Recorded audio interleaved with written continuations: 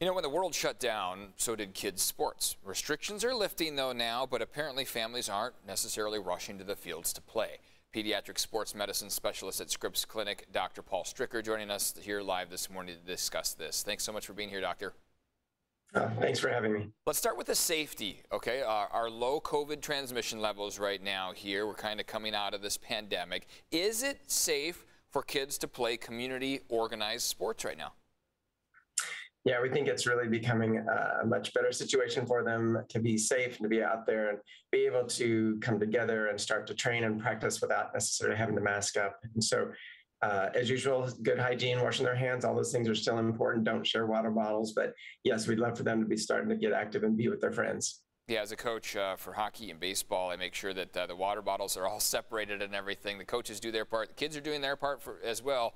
Uh, let's talk about the parents. Um, let's remind them um, of some of the advantages of sports. I mean, I know um, it's really important to kids' mental, physical health, right? Especially now as we're kind of coming out of this pandemic. Yeah, it's it's always important, but even especially now, after a lot of times, uh, kids during the pandemic, many of them didn't do anything. Uh, so yes, we know that they get muscle strength and build their cardiovascular fitness, and certainly get coordination and learn how to work together as a team to develop a strategy and to learn coaching and to, to build teamwork. Uh, but they also build confidence and self-esteem and the ability to be disciplined and learn resilience. So it's really important. Yeah, growing up, I know you were a, a former swimmer, um, a, a, a, really solid athlete. So you learned things from sports. I learned things from sports that we use every day. So so so important to participate in, in, in youth sports. But that participation, I was surprised to, real, to, to hear this, it's really fallen in recent years, right? Why are those participation levels so far down now?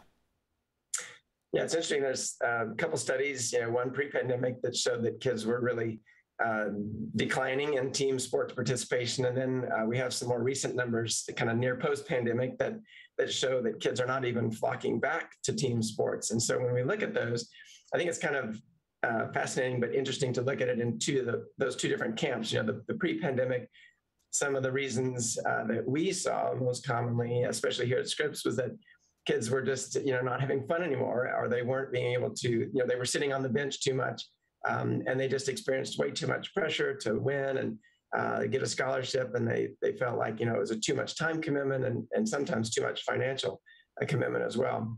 Interestingly, here in the near post pandemic, some of what we're seeing is that kids are not flocking back to team sports because during the pandemic, a lot of them had all this excessive free time uh, and they discovered that you know they liked to go hiking uh, or ride their bikes or go for long walks and um, and so they still learned ways to be active uh, and exercise uh, but that they learned that they really didn't miss all that time commitment and all the pressure. So there's different ways to look at this. But what are they missing out that sports would bring to that instead of just, you know, biking on their own?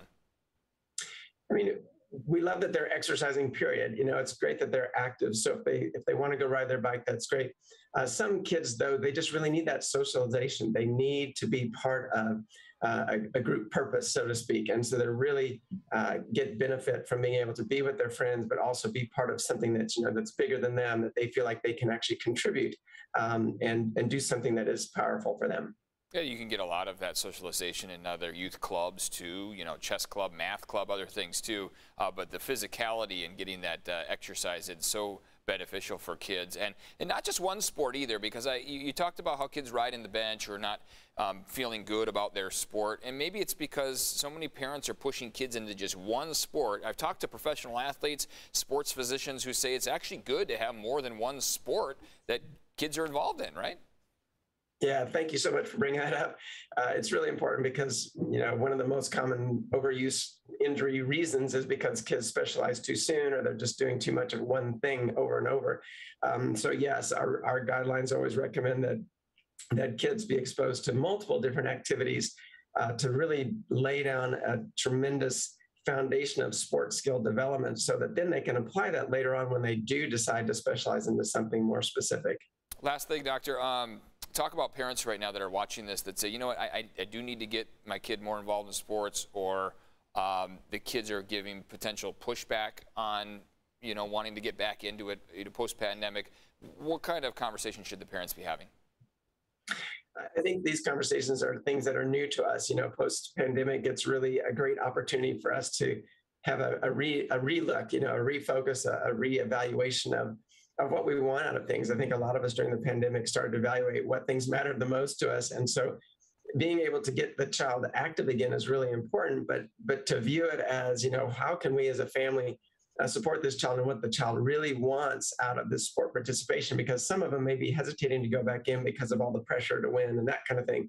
Uh, so if they know that they're supported um, from their family that it's okay to just be active and be part of the team and get the, the wonderful health benefits, uh, I think that will ease a lot of the pressure on some of these kids going forward.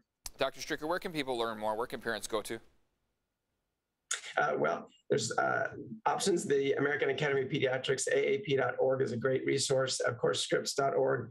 Um, I'm happy to see new patients all the time. It's, it's very delightful for me. So, uh, anything we can do to help support how kids develop their skills and, and be active, uh, we'll do our best. Dr. Stricker, thanks so much for your time here this morning. Really appreciate it. Absolutely. Thank you.